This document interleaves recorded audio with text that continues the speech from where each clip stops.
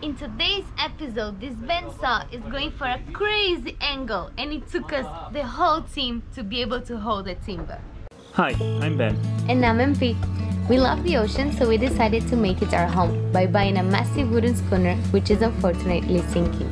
A lot of people believe our boat is doomed, but we refuse to settle on that thought, and we are willing to do whatever it takes to bring it back to its former glory. Join us on this refurbishing journey and wish us luck.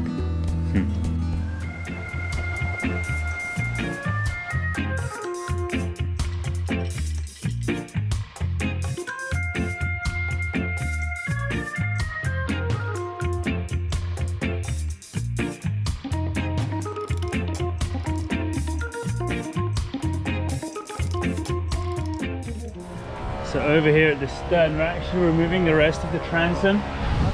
So over here you can see, well, this is actually what we removed a while ago because we had to access all this for the frames. But now we're gonna start removing the rest. And why is it also good that we're removing this? It's a massive piece of wood, but unfortunately, it is just like the rest of the boat falling apart. Yeah, a nice big piece, strong piece that's just crumbling apart. So what's going to happen now, these last frames are in that are, that attached to the transom. They're being planed down so that the transom can start being built. And why are we also building the transom now is the shear plank has been put on, but there's no point in, well, there's not much structure in the boat with the shear plank if the top plank or any planks of the, the transom are not in it. So that's what we're going to start working on now. Also, when that top plank is in there, we are going to start planking completely. So that's what this is for now. Good news is we don't need to replace all the beams and all the planks of the deck, aft deck, but we will have to cut off part of it and replace the most aft piece while the other two are busy working on the tops of the frames and the top of the shear plank making sure that's all level to start receiving beams and uh, deck. Over here Nico and Elio are actually building some more planks to start closing the hull. So the aft planks that's these. And then I'm inside preparing well doing what I can so that later more work can be done faster so yeah, there's so much going on and that's why we're managing to do this all so fast.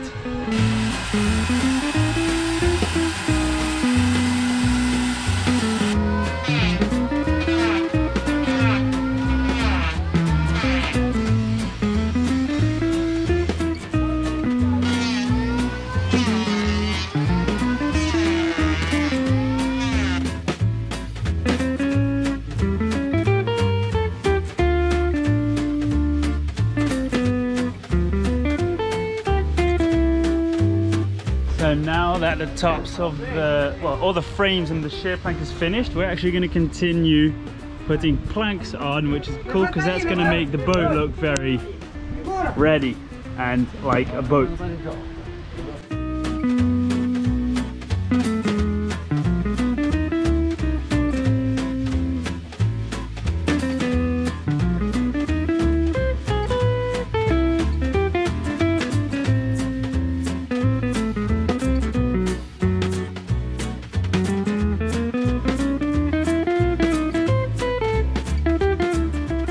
So what's very cool is our first beam is going to be made. Now I, So over here you can see that our transom is going to start getting put together.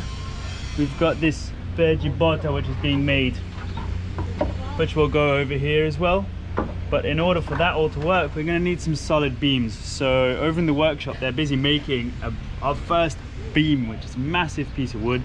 It's also about 12 by 12 centimeters but that's going to go up here so it can hold start holding the transom as well as some of the other planks and frames. So that is very cool. So you're going to show us what that is. You're going to look at it and tell me what it is. Okay.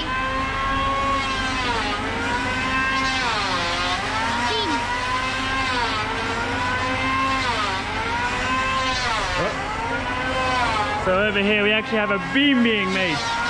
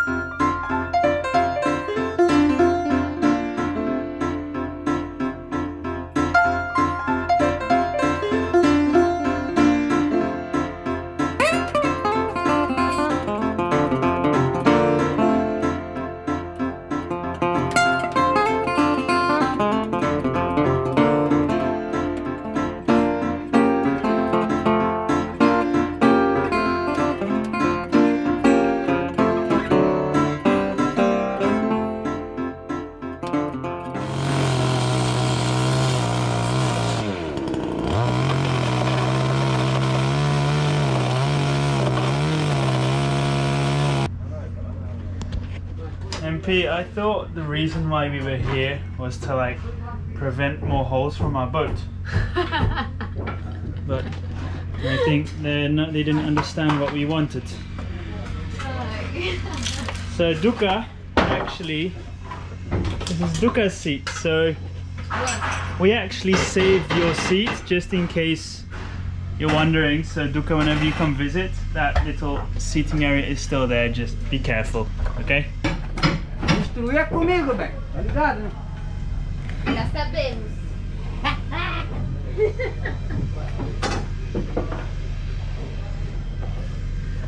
So we're actually thinking of keeping this back open like a regatta boat, you know?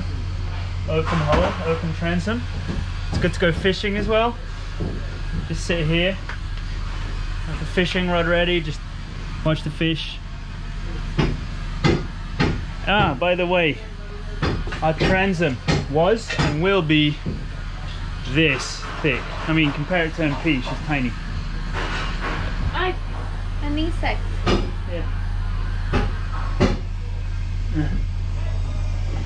Yeah, so that's eight centimeters. This is what it will be. Was and will be.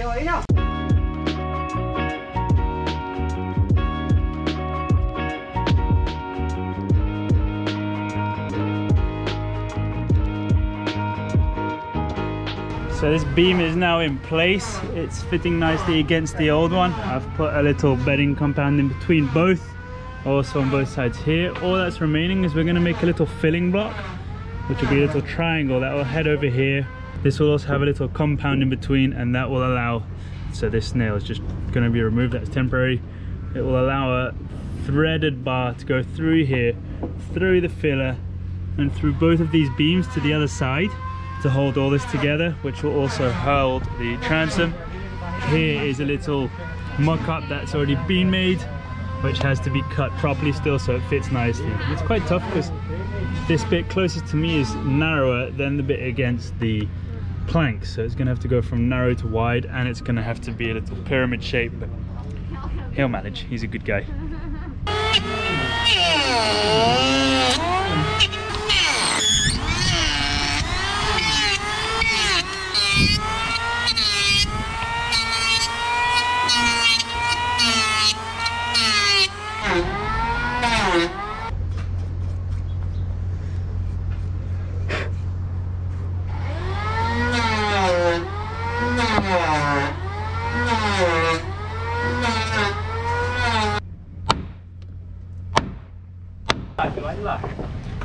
is the second piece, it's in already. So this is ready to be put, well, fastened together from this to this to this and this. All is gonna be one big, has it? No, it's all gonna be one big bar going through it with a nut on each end and a washer. that's gonna hold that together. Now that frames are ready, shear plank is ready and on place, we are working already on beams and also planks.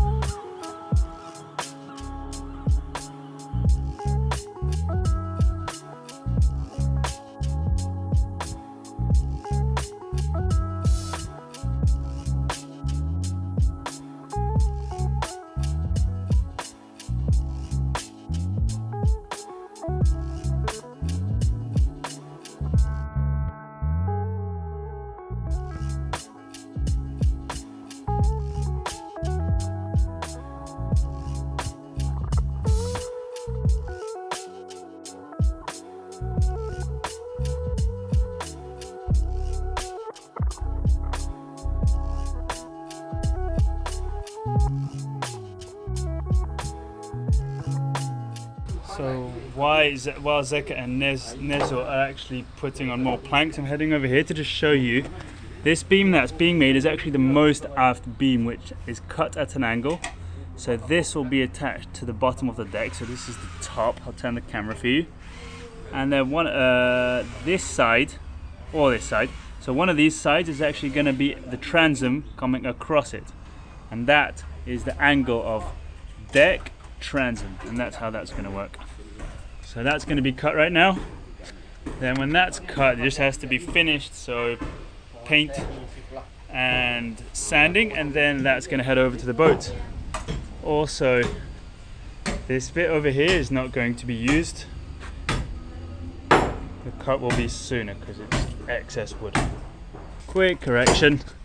I'll show on this side but the transom will come on this line not that line. Now you can cut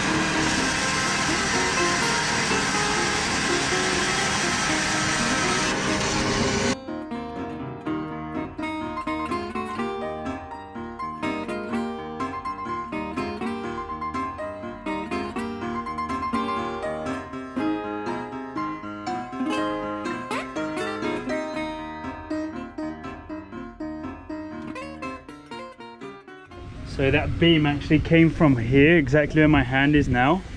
It used to be attached to here and goes all the way, well actually here, sorry, and goes all the way across to there and it's actually what holds the transom on.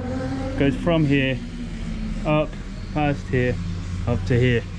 So as that is a very structural piece of the boat, well as every other beam, but that's the one where the transom is actually onto and where the Bergibota, which is the vertical kind of frame that comes up here, is also attached to. So it's very important that this one is of a very good structure as it holds the corners of the ship together as well as most, a lot of joints come together on it.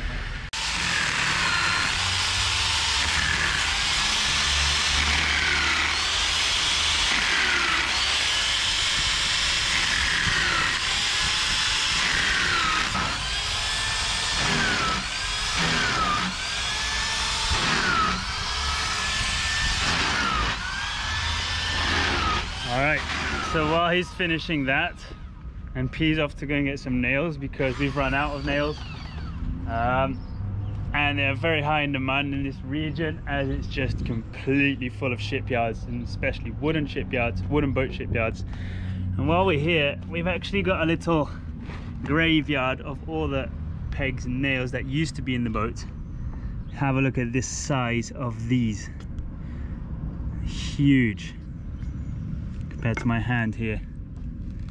Now the good thing about this is they're very very strong and they hold oh, they hold very well. However,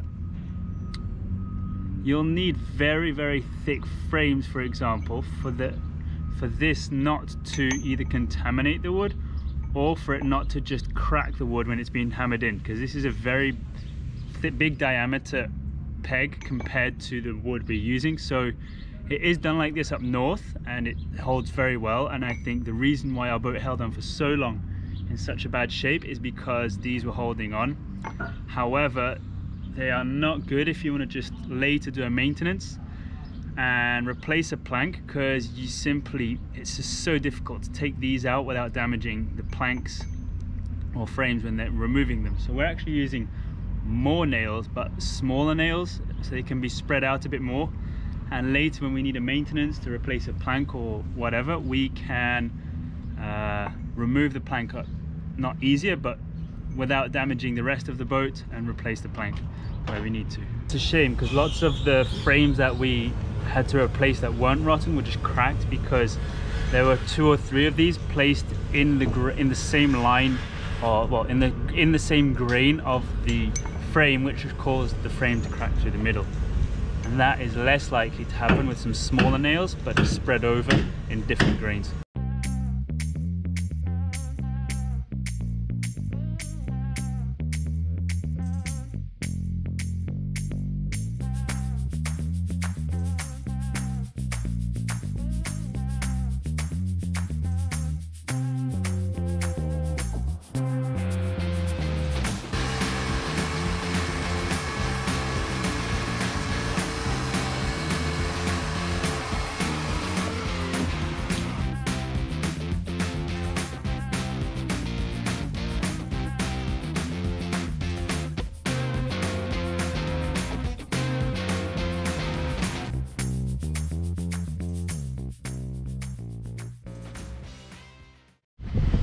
at the shed and I thought, that's a very strange looking beam.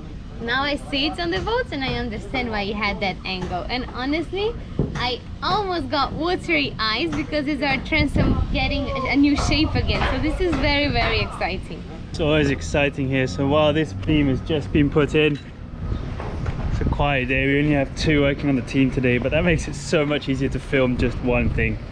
But look, he's going into the water. So you can see one wire. Oh, I'm not going to get too close. One wire is moving super slowly because it's got to get a lot of torque to pull this back. So yeah, he just came up for a quick fix and is heading back out again. We're still there for a little while, but soon we'll be down.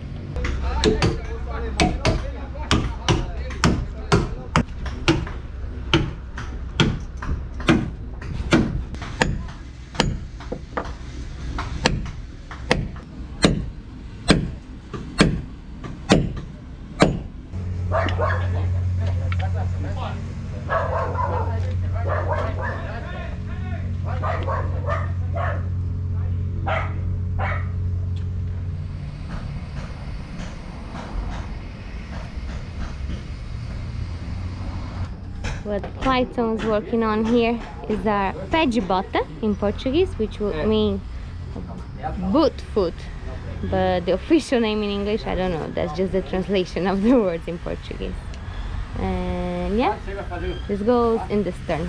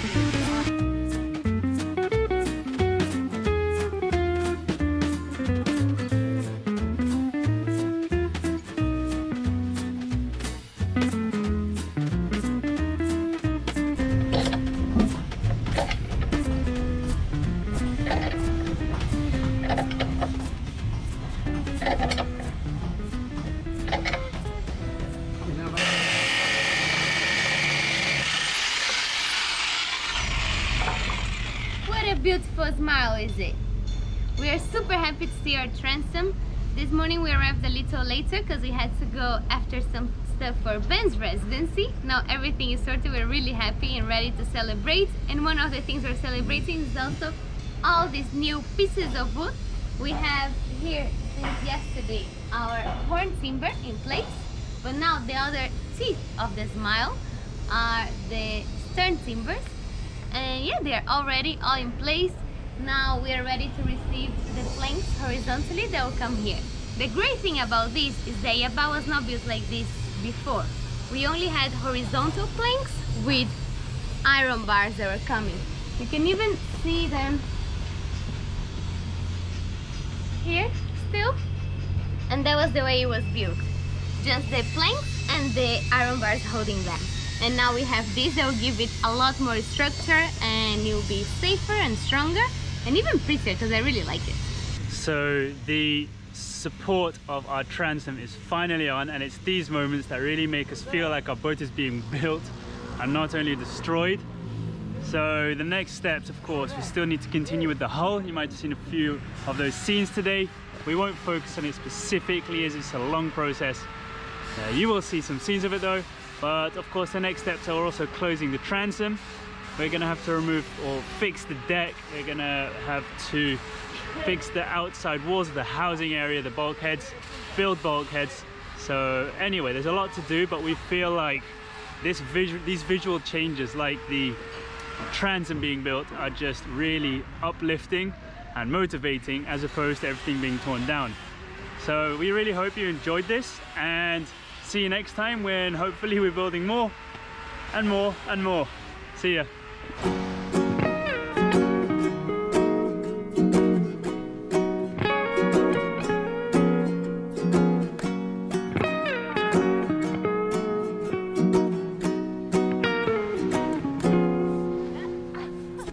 The first thing I thought when I saw the transom like this was of a smile, right? It was the first thing that came to my mind because for me it really looks like a mouth with teeth or maybe missing teeth, I don't know. Then I sent the photo to our patrons group to see if anyone would agree with me and we got this in return. I think it's great. This is really how I picture it, so thank you so much, Jan. This is amazing.